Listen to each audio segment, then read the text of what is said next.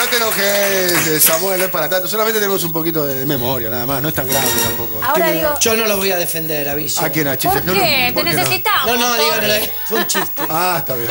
En un momento Chiche... No, entendés. Mirá que nos empezamos a cagar a trompadas. Pero pará, ¿de qué lado te pondrías?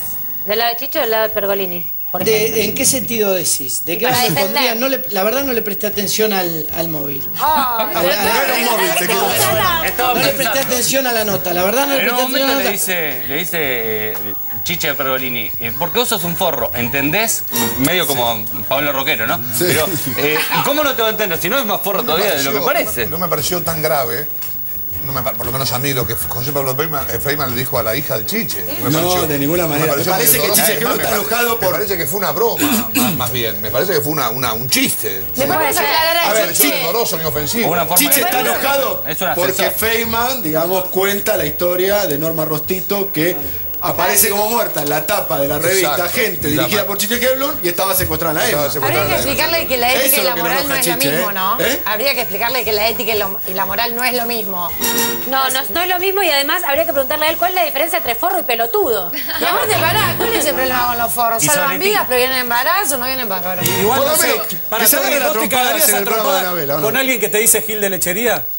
No, yo, yo me he agarrado piña muchas veces. No, no, De- cre- no, No, creemos. creo. No, no, no. No creemos, no. Lo, lo que me parece que el, el- el- el que todo el tiempo avisa y, y agrede, o te peleas o no te peleas. Claro. y me parece que nunca van a salir ninguno de los dos de sus sectores. Uno que le dice pelotudo, forro por micrófono, y el otro le dice, no sé, gato. ¿Cada cuánto te metáfora. agarras a trompada? ¿Una vez por año? Nunca. ¿Nunca? Nunca.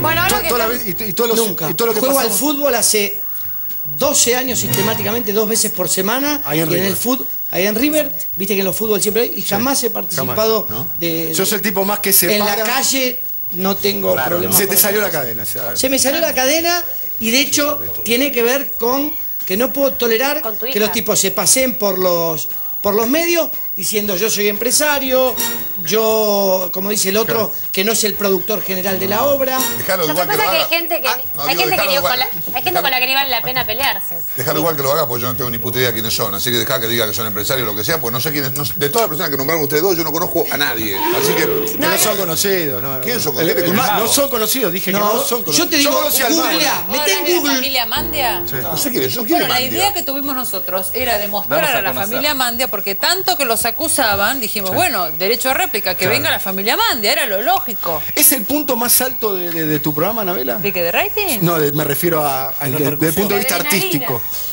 Mira, vos sabés que hoy estaba pensando que lo que es el destino Más o el, vale, o el digo. karma. No, no, pará. Yo a Zulma, a. Zulma la conozco bien al Sol. programa el Más 24 vale. de marzo del año pasado. Sí, 24 de marzo. No te olvidas más de la fecha. Una fecha, una fecha espantosa, el 24 de marzo, por varias razones. Sí. No sé si fue 23, ¿sabes que no me acuerdo si fue 23 o 24? Claro, pero por ahí. Y ahora en marzo 29 me vuelve a el lunes, pasar. el 24 fue lunes. No me acuerdo, anda, pero ahora en pasado. marzo, No, 24 fue martes, perdón. que fue una explosión lo de Zulma. Sí. Me rompí un dedo en ¿No? el campo. Ahora en marzo me vuelve a pasar lo mismo, otra explosión. Zulma ¿Te puedo Lobato había, hecho, pregunta? había ido a hacer un contrapiso a Crónica. Zulma. ¿Te puedo hacer una Ha pregunta? ido como medio oficial albañil a hacer un contrapiso Un toque. y el trompito estaba roto hizo el cemento sin el trompito. todo está combinado, todo está combinado con, con. Zulma. Por otro lado, yo le pregunté al señor Kiroski por qué te había contratado a vos. Eh, me fueron a ver al teatro, al teatro, a, a Folies Club. Yo fui me a ver al teatro. Va. Él me fue a ver al teatro también. Me fueron a ver y dijeron, vamos a hacer la obra. Y esto, estas charlas empiezan en julio, agosto por ahí con Kiroski. Pero y Mandia se suma en noviembre. pero escucha, vos ya y ellos sabían lo que hago. Y luego hace 10 años Pará, por todo el ¿Ellos país. sabían tus antecedentes así de piña? Pero ¿cómo de, pi- de piña? Si los tipos me pegan y me patean en No, la, no, la pero cabeza. antes de eso. ¿Pero cuáles son los antecedentes de piña? Lo de los programas. Los que vimos Pero de recién. los programas fue, ¿te puedo hacer una fue todo pregunta? A ver, a ver, quiero hacer una pregunta Al margen de todo esto, sinceramente, ¿qué buscas cuando invitas a, la- a los personajes que invitas? ¿Qué buscas? ¿Entretener? eh, ¿Que muestren vale. su arte? ¿O entretener a base del, del morbo, del chiste de los personajes que invitas? Porque muchas veces los personajes son como rozando lo vale. triste. Entonces. Mira, ¿qué es yo que sé que busca? es muy difícil entender el fenómeno, yo entiendo, yo lo sé.